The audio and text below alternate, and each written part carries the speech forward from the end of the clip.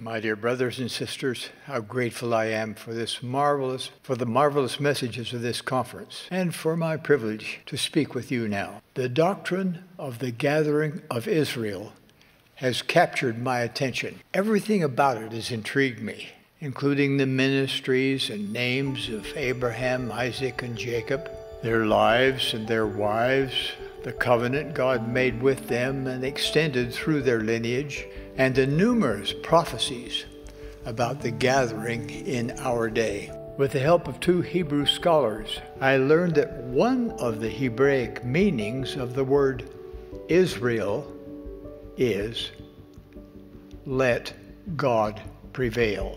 The word willing is crucial to this interpretation of Israel. We all have our agency. We can choose to be of Israel or not. We can choose to let God prevail in our lives or not. We can choose to let God be the most powerful influence in our lives or not.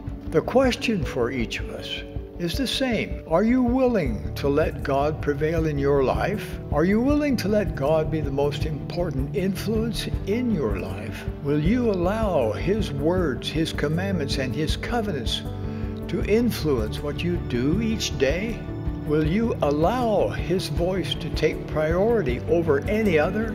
Are you willing to let whatever He needs you to do take precedence over every other ambition? Are you willing to have your will swallowed up in His? And what is the Lord willing to do for Israel?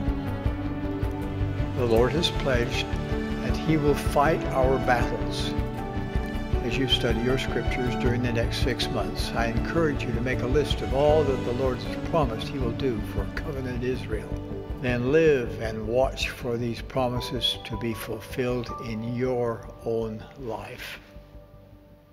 My dear brothers and sisters, as you choose to let God prevail in your lives, you will experience for yourselves that our God is a God of miracles.